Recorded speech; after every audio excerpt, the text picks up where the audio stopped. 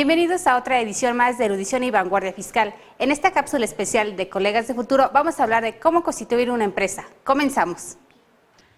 Hola, buenas tardes. Vamos a comenzar iniciando en la página de, de tu empresa. Vamos a utilizar el explorador de Chrome. El explorador eh, Explorer o Mozilla no funcionan para la constitución de, eh, para la página de la Secretaría de Economía. Entonces vamos a entrar a, si no saben, es tuempresa.gov o también lo pueden encontrar el link en la página de Economía. El link ahí está, le damos clic. Para esto, primero vamos a registrarnos. Aquí, si ya tenemos eh, el registro, iniciamos. Pero si no le damos clic aquí en nuevo usuario, llenamos el nombre, apellido, segundo apellido, correo electrónico que va a ser su usuario próximo después, en próximas eh, para iniciar, la contraseña, la confirmación de la contraseña. Vamos a darle eh, aquí en pregunta secreta para recuperar la contraseña y aquí vienen varias preguntas, bastantes y vamos a escribir la respuesta. Vamos a digitar las palabras que están aquí eh, o el dígito. Ya que tengamos esto, al correo que registramos nos va a llegar una notificación de activación de la cuenta. En esa activación de la cuenta le damos clic y nos va a pedir que llenemos unos datos personales como dirección, eh, giro de la empresa y demás. Bueno, para esto vamos a iniciar con el usuario. Por ejemplo, ya tengo un usuario.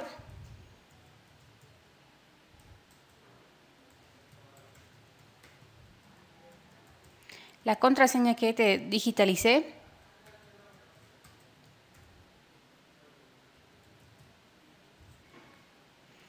Ingresamos. Bueno, ya entramos a la página de, de tu economía, bueno, de tu empresa. Aquí tenemos las autorizaciones que tenemos, eh, ya tenemos el, aquí, podemos tener hasta 10 registros de posibles empresas o denominación o razón social. Bueno, aquí tenemos el de mi perfil, que es el que vamos a llenar cuando nos mandan el correo de activación de la cuenta. Ese es el perfil que llenamos.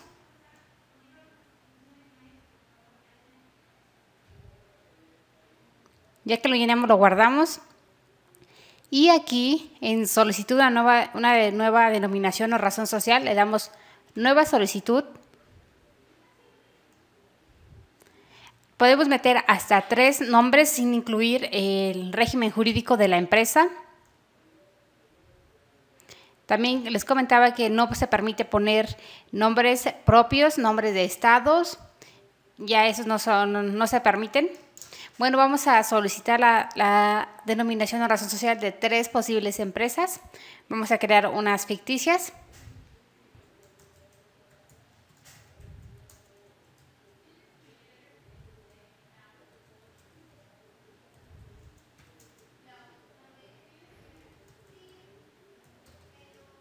Vamos a darle otro nombre.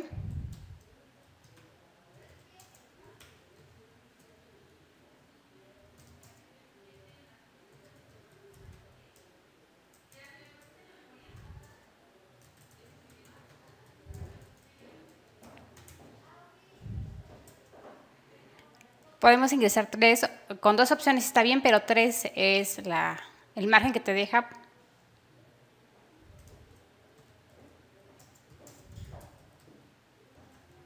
Le damos solicitar.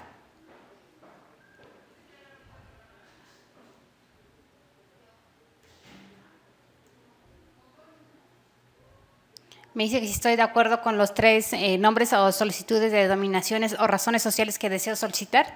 Le damos clic que sí o que no. Y aquí les comento que hay tres, eh, para las solicitudes de la denominación o razón social, cada denominación tiene un semáforo. El semáforo verde quiere decir que se puede utilizar, que nadie ha registrado una similar a la que estamos solicitando, que sea es libre, libre, que somos los primeros. El semáforo rojo, aquí el circulito rojo, cuando está seleccionado, significa que la denominación o razón social está siendo utilizada ya por otra persona y que en ningún caso podemos utilizar ese nombre, a eh, excepción de que eh, solicitemos un permiso a la primera asociación o razón social, la primera denominación o razón social que esté utilizando el nombre, que nos dé un permiso que podemos utilizar para eh, crear o utilizar un nombre similar, no igual, similar.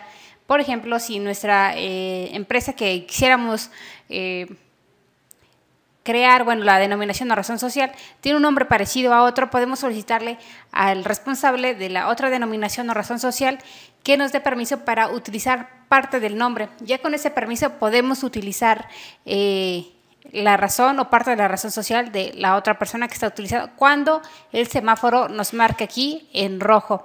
Y el semáforo amarillo es, quiere decir que eh, puede o puede ser y no que te den la autorización de, ese, de esa posible mm, razón o denominación social. Por ejemplo, quieren elegir, ya de estos tres que tenemos, podemos elegir uno, por ejemplo, que más nos gustó, por ejemplo, eh, te la pone en orden de prioridad, que puede ser cómo van a, cómo aparecen, entonces vamos a solicitarla. Le vamos, a, em, le vamos a decir que queremos esta y vamos a enviar un dictamen. Dice que si deseamos enviarla, que si estamos de acuerdo, le decimos que sí.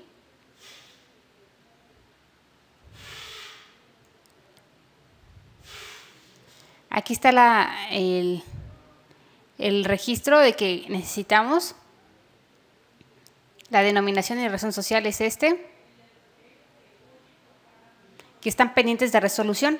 Eh, la resolución no la dan en 15 días hábiles, 10 a 15 días hábiles. Ya que tengamos la resolución,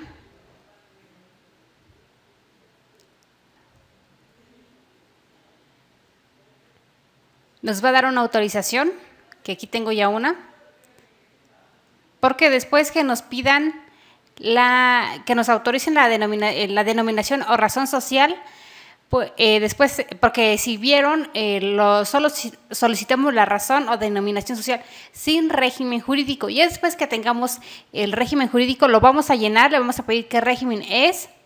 Y después que tengamos el régimen, eh, nos va a decir, nos va a dar un, una autorización como esta, donde también nos va a pedir que el nombre de la notaría a la cual se tiene que, elegimos notaría y notario, Aquí en este caso elegimos a uno, ya le pusimos qué tipo de régimen jurídico. Esos son los datos que tenemos que llenar. Régimen jurídico, feudatario o servidor o feudatario público, el número de la notaría y ya eh, cuando se está, este, cuándo fue la fecha de la autorización y podemos ver el documento completo.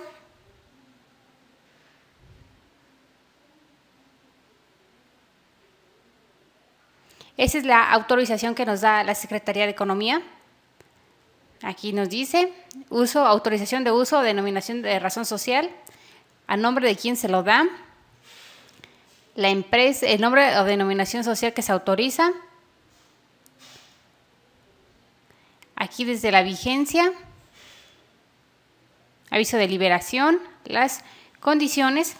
También les quiero comentar que para cuando nos dan la autorización, cuando estamos llenando el régimen jurídico, eh, notaría, eh, el fedatario servidor público, eh, también tenemos que firmar esta, esta operación o esta solicitud con una firma electrónica avanzada, que es con nuestra fiel. Así que la solicitud de la persona quien lo va a hacer debe tener una fiel. En este caso, le recomendaría que si van a constituir una, una empresa, alguno de los socios o accionistas debe tener, posible socio o posible accionista debe tener ya con una, contar con una FIER para poder firmar la solicitud, la autorización correspondiente para ponerle el régimen jurídico, eh, notaría, servidor público. La notaría puede ser, eh, la podemos elegir de cualquier estado, no, no se limita al estado donde se está presentando la solicitud, no te pide que sea específicamente de un estado, por ejemplo, nosotros somos de Puebla, mm, pudimos haber elegido la, una notaría de, DF o Aguascalientes eh, o otro, cualquier otro estado, no hay limitante. Eh, el régimen jurídico también se puede cambiar aquí cambiar de régimen jurídico, cambiar de fedatario público o desistir. Desistir quiere decir que ya no vamos a utilizar esta razón o denominación social y liberamos eh, el nombre con el que pudimos, con el que ingresamos la denominación social y lo ponemos libre para que cualquier otra persona o cualquier otro socio accionista pueda utilizarla. Y esto es cómo constituir eh, una empresa, los pasos que se deben de seguir. Es una manera sencilla, ya no tenemos que ir a la Secretaría de Economía y llevar todo en papel, todo es ahora de manera electrónica. En este caso, les vuelvo a repetir, entramos a tuempresa.gov, llenamos, eh, esperamos en el correo que dimos de alta, el primer correo, esperamos la liga donde venga la activación de nuestro perfil, lo activamos, llenamos los datos de perfil, ingresamos una nueva solicitud, enviamos hasta tres posibles denominaciones o razones sociales, las enviamos las tres, esperamos el semáforo de cada solicitud, ya puede ser rojo, que no puede, no, puede eh, no es posible eh, utilizar ese nombre, verde, que es favorable, que tenemos el 100% eh, de libertad para solicitar esa razón o denominación social, nadie la está utilizando, y en amarillo, que puede o no, dependiendo de la evaluación del dictamen, puede o no que utilices ese nombre, y en rojo cuando se está rechazando porque en manera lingüística o de fonética suena igual a otra eh, denominación o razón social, eh, podemos pedir permiso para utilizar parte del nombre de la, de la otra denominación a quien sea responsable de la empresa o denominación o razón social. Ya que el dictamen, esperamos la confirmación, que son 10 días hábiles, de 10 a 15 días hábiles. Después de eso, ya que tengamos la autorización, eh, nos va a aparecer este tipo de autorización.